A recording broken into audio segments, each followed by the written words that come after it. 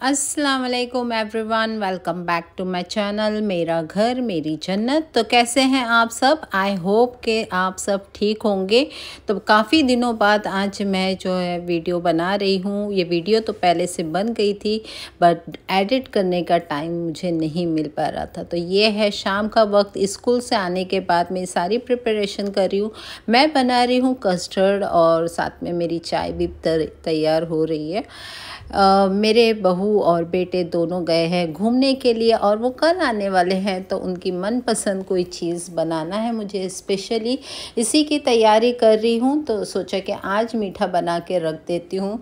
तो मेरे बेटे को फ्रूट कस्टर्ड बहुत ज़्यादा पसंद है और वो भी ठंडा ठंडा फ्रूट कस्टर्ड उसे बहुत प्यार अच्छा लगता है। इसलिए फ्रूट कस्टर्ड बनाए, ये बहुत क्विकली भी बन जाता है।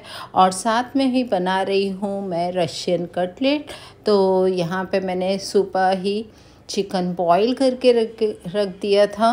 और ये है नेक्स्ट डे का आ, वीडियो। जब वो लोग आने वाले थे शाम तक पहुँचने वाले थे मैं स्कूल से आ चुकी थी और प्रिपरेशन में लग गई थी।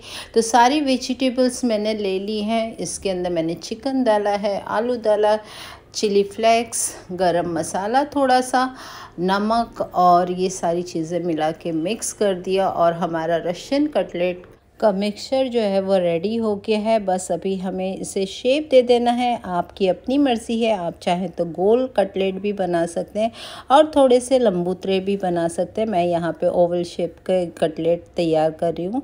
सारे कटलेट तैयार करके रख दूँगी फ्रिज में ताकि जब बच्चे आएँ तो डिनर के वक्त हम इसे गर्मा गर्म सर्व करें।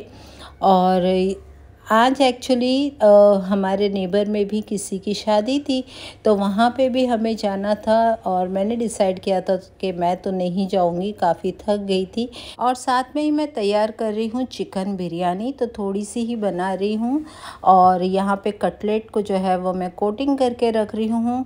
तो इसे कोट करने के लिए मैंने जो है एग ले लिए है, उसे बीट करके उसमें हम डीप करेंगे, फिर हम बटर क्रम के अंदर डीप करके रख देंगे। यहाँ पे ये चिकन जो है, वो मैंने रात में ही मैरिनेट कल ही करके रख दिया था और इसके अंदर सारे मसाले लगाए थे। और इस तरह से अगर हम पहले से थोड़ी सी प्रिपरेशन करते हैं ना तो चिकन का जायका भी थोड़ा सा अच्छा हो जाता है, काफ़ी देर मैरिनेट करने के बाद। और अच्छी खुशबूदार, मज़ेदार सी बिरयानी और ग्रेवी बन के हमारी तैयार होती है। तो चिकन भूनने के बाद मैंने यहाँ पे मेरे दही वाला जो स्पेशल मैं बिरयानी के लिए बनाती हूँ, वो मसाला मैंने डाल दिया है और इसे साथ में ही भून लूँगी। और साथ ही साथ मैंने चावलों के लिए पानी भी चढ़ा दिया है। अब यहाँ पे मसाला रेडी हो गया तो इसे मैंने ढक के फ्लेम को ऑफ़ कर दिया है और यहाँ पे चावल बॉईल होने के बाद फिर मैंने गैस को ऑन किया, इस पे डाला है थोड़ा सा बिरिस्ता, साथ में ही मैंने डाला है कोरिएंडर एंड मिंट और सारे चावल जो है उस पर डाल दूँगी मैं, जो हमने बॉईल करे हैं। यहाँ पे मैंने बासमती राइस का इस्तेमाल किया है तो बहुत ही अच्छी खुशबू आती है बिरयानी में जब हम बासमती राइस डालते हैं।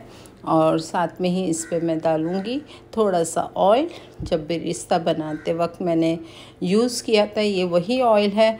और साथ में ही मैं इस पर डालूँगी थोड़ा सा एसेंस, बिरयानी एसेंस और साथ में ही थोड़ा सा फ़ूड कलर डालेंगे ताकि बिरयानी जो है वो बहुत ही खूबसूरत लगे। और यहाँ पर जो है ना, मैं इतनी एक्साइटेड हो गई थी कि मैंने वो बिरयानी का बाद वाला क्लिप लिया ही नहीं है। ये नेक्स्ट डे का वीडियो है जहाँ पर मेरी बहू जो है अपनी पहली कुकिंग कर रही है मेरे साथ में और वो बना रही है शीर कुरमा। तो यहाँ पर मैं तो कैमरा लेके खड़ी होगी क्योंकि मैं ये मोमेंट मिस नहीं करना चाहती थी, क्योंकि बार बार ऐसे मौके नहीं आते। ज़िंदगी भर एक औरत खाना बनाती है, लेकिन उसकी जो फ़र्स्ट कुकिंग होती है ना, वो बहुत ही स्पेशल होती है। अब हमारे टाइम पे तो ये कैमरा और मोबाइल वगैरह था नहीं। अब ये सहूलत हो गई है तो मैंने सोचा कि ये मोमेंट तो मुझे कैच कर लेना चाहिए क्योंकि जब मेरे पोते पोतियाँ होंगी तो मैं उन्हें बताऊँगी कि उनकी मम्मी ने पहला शेर कुरमा कैसे बनाया था।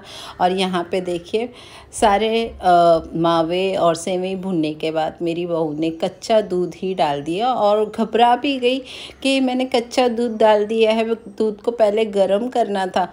लेकिन मैंने बोला, कोई बात नहीं, उसमें जाके वो गर्म हो जाएगा। और ये देखिए, मज़ेदार सा शीर कुरमा बन के तैयार हो गया है और उन्होंने अपने हाथ से ही सर्व किया।